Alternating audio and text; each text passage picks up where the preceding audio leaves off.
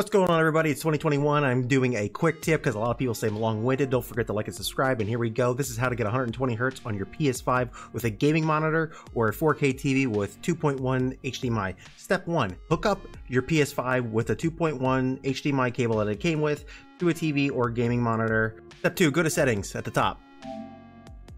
Step number three, go to screen and video, go to resolution and set to automatic.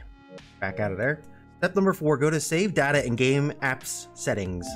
Go down to game presets, go over to performance mode. Don't set it to default, set it to performance mode.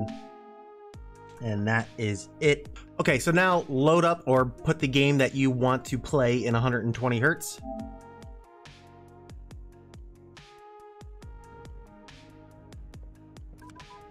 Okay, once that boots up, you can come back out to the home screen Go up to the settings again.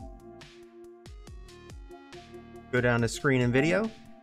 Go to video information, and there it is. It is now playing at uh, a 1920 by 1080 at 120 hertz because my monitor only is 2.0 so it only is going to do 1080p full HD at 120 hertz but it's that simple guys Alright, this helped you out. Please like and subscribe, smash that bell icon. You'll get notified every time I post a new tip or trick for your PS5. Until next time, my name is Davis Deadly. Peace.